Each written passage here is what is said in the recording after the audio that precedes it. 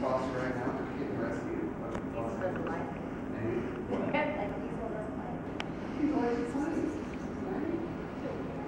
She's named Diesel because she's got her. Pretty, pretty close. And she's gorgeous. She, she and her whole litter were fairly sick. Um, she's doing great right now. and She's going home right this very second. And you brought a few, we have quite a few that are up for adoption, huh?